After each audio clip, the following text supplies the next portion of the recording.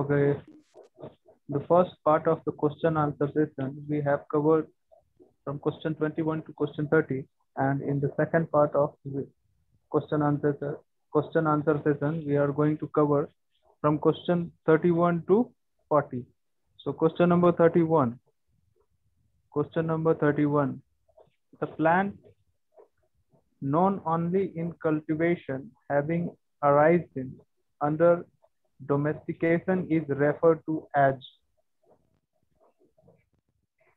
a plant known only in cultivation having arisen under domestication is referred to as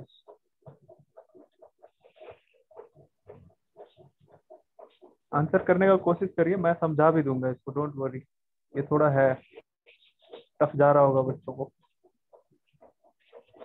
try to answer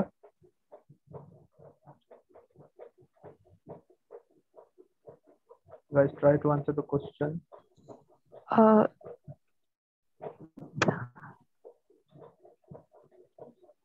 okay d right answer is cultigen okay so what is cultigen ये question what is the question is about question पूछ क्या रहा है ना what are they actually want to know from you तो cultigen basically है क्या a cultivated plant that has been deliberately altered or selected by humans है ना जिसको आप जानबूझकर उसको जो है उगाते हैं ना डोमेस्टिकेट कर लिए जिस प्लांट को उसको कल्टीजन बोल रहे हैं ना।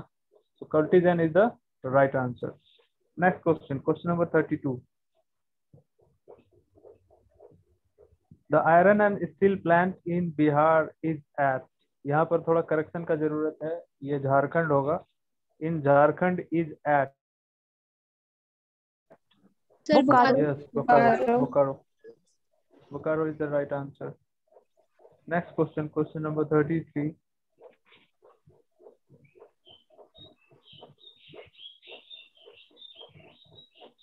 the state the state which has registered the highest population growth rate according to 2001 census.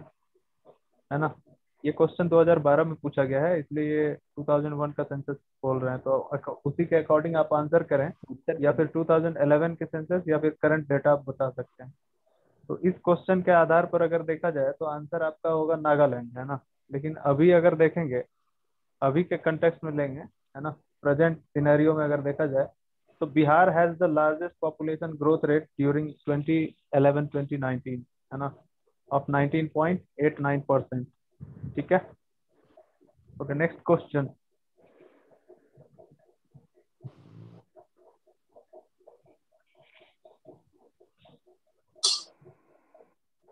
earth is earth is very big magnet earth is very big magnet in which direction does it magnetic field extend in which direction south to north see north to south या south to north ये बताइए। North to south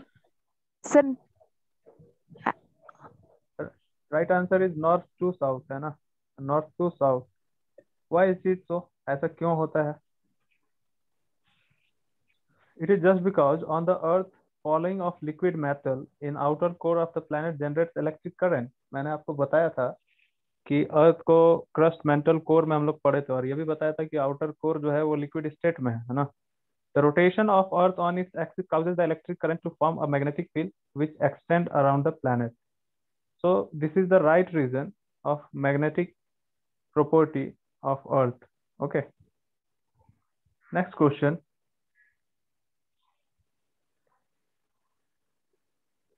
question number thirty five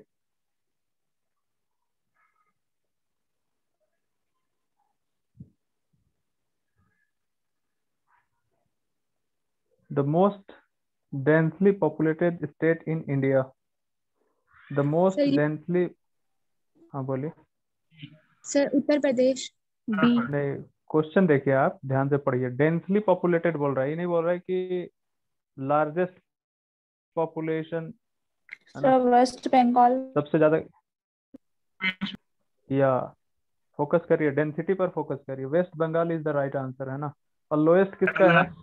Arunachal Pradesh तो density हाँ हाँ lowest Arunachal Pradesh का है अगर यही चीज़ आपसे पूछा जाए कि यूटी में बताइए कि हाईएस्ट किसका है बाय डेंसिटी तो आंसर हो जाएगा Delhi okay next question question number thirty six The biggest planet in the solar system is Jupiter. biggest planet in the solar system. Jupiter. Yeah, जो वेरी ऑब्वियस मैंने बताया भी था आपको। Jupiter is the right answer है ना? और देखो, अगर आपको ये बात नहीं याद रहता है तो आप ऐसे याद रखिए Mercury met Venus every night until Saturn jump है ना? तो ये सेंटेंस जब आप याद रख पाएँगे तो आप देखेंगे कि जो आप बोलेंगे सबसे बड़ा प्लेनेट कौन सा है तो इसमें जब सेंटेंस बोला मैंने तो जंप आया ना? तो जंप का इनिशियल लेटर जे है। तो जे से जुपिटर हो गया, सबसे छोटा कौन है? मर्क्यूरी है। मैं फिर से रिपीट कर दे रहा हूँ sentence Mercury met Venus every night until Saturn jump okay तो ये सीक्वेंस याद रखिए, ये कैसा है? इंक्रीजिंग ऑर्डर में है ये सीक्वेंस सबसे पहले छोटा प्लेनेट आ गया, फिर बढ़ते हुए क्रम ठीक next question question number thirty seven peninsular India has the following zonal soil types. है ना? Peninsular india has the following zonal soil type answer करिए। पहले ये समझिए कि पेनिनसुलर इंडिया है क्या? किसको कहते हैं? सर जो तीनों साइड मतलब तीनों साइड से वाटर से घिरा हाँ लैंड सराउंडेड बाय वाटर है ना? Relating to relating to an area of land almost surrounded by water है ना? ऑलमोस्ट सराउंडेड बाय वाटर तो अब आप ये बताइए किस प्रकार का सॉइल पाया जाता है वहाँ पर? ये इंडियन ज्योग्राफी का पार्ट है अभी बताया नहीं है। फिर भी आप आंसर करने का प्रयास करिए। Sir A okay right not confirm right right answer is red and yellow soil right answer is red and yellow soil question number thirty eight question number thirty eight the land between two river is called the land between two river is called बताइए। दो नदियों के बीच के। भूभाग को क्या कहा है? Yes doab is right answer जी जी जी। डी दो आप बचपन से Yes, पढ़ते आ रहे हम लोग। Next question question number thirty nine question number thirty nine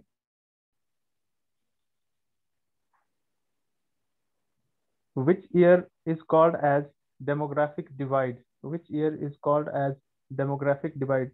Try to answer आप नहीं समझ पा रहे तो मैं हूँ यहाँ समझाने के लिए। डोंट वरी आप आंसर करने का कोशिश करिए। चलिए मैं पहले समझाता हूँ डेमोग्राफिक डिवाइड है क्या? है ना?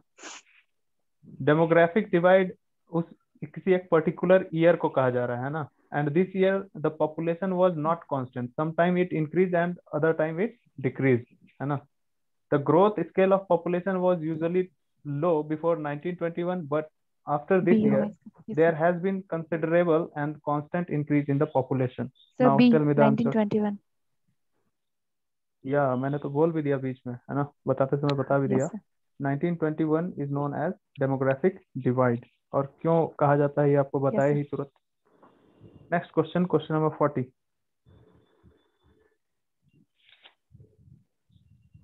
which country has a density of population which country has a density of population try to answer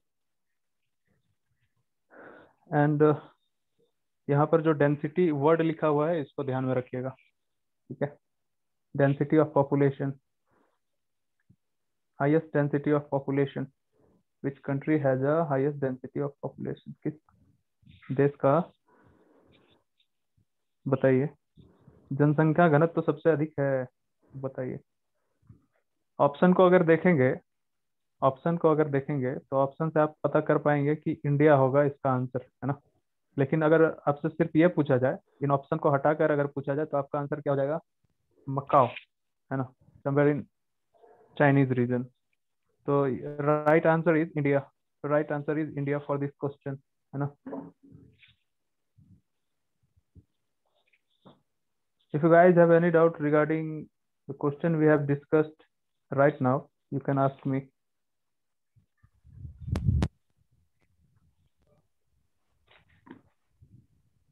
Sir वो पेनिनसुला वाले टाइम में थोड़ा कंफ्यूजन uh, था कि हम लोग जैसे when we go downward in the south direction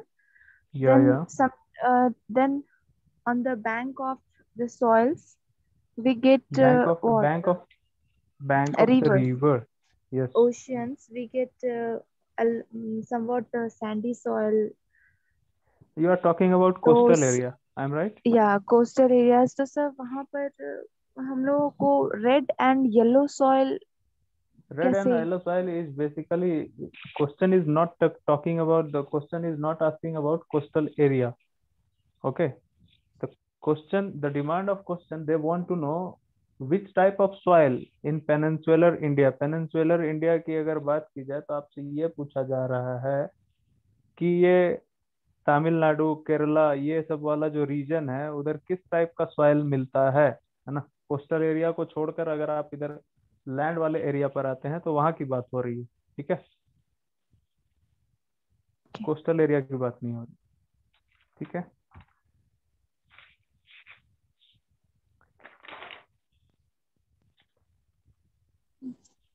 Sir, yes yes sir, can you please explain again about demographic divide? Demo demographic divide. Yes, demographic divide is uh, basically a date okay? Basically a year okay? In this year the population was not constant. Sometime it increased and sometime it decreased. That's why it is called demographic divide okay and particularly 1921 the growth scale of population was usually low. Okay. After this there has been considerable and constant increase in population. That's why they are they are saying that 1921 is a demographic divide. Okay. Okay, sir. Thank hope you guys getting my point. Yes, sir. Thank you, sir. okay. Let's continue with our next topic that is environment atmosphere. That is atmosphere. सरकारी नौकरी पाना अब और भी आसान। लाखों की संख्या में वैकेंसी झारखंड का नंबर वन एकमात्र संस्थान NITM maker institute specialization in bank MBA SSC computer NITM को अनेकों अवार्ड से सम्मानित किया गया। मैं एनआईबीएम को बधाई देता हूँ कि इतने सारे विद्यार्थियों को हर साल बैंकिंग की परीक्षाओं में सफलता दिलवा रही है। NITM maker institute Agricultural Institute, Head Office, Sri Sun Tower, Kotturu, Sangalur